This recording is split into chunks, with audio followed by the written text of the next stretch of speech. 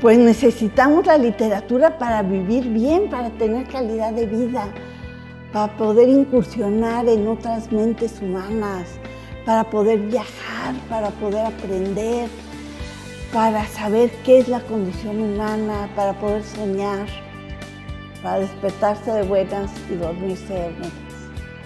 Pues yo me acuerdo al principio que se criticaba como en Guadalajara, una feria internacional que se creen, y ahora que incluso los libreros me dicen preferimos ir a la FIL de Guadalajara que a la de Frankfurt, porque es mucho más interesante, se distribuyen mejor los libros, el ambiente es mucho más grato. Digo, wow, qué gran éxito, qué bueno que se equivocaron los primeros detractores. Pues yo he descubierto a través de mi experiencia de la ciencia que cuando se quiere divulgar la ciencia resulta mucho mejor cuando se mezcla con el arte.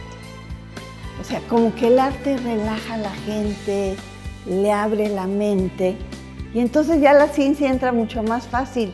Así es que sí hay que mezclar la ciencia y el arte. La feria del libro es la felicidad. Desde que llega uno aquí, ve el ambiente, las filas de los chicos, los niños chiquitos, el espacio de los niños, la gente comprando libros, viéndolos, contando sus monedas, a ver qué libro les alcanza para comprar. Y después, pues esa alegría que está en el medio ambiente.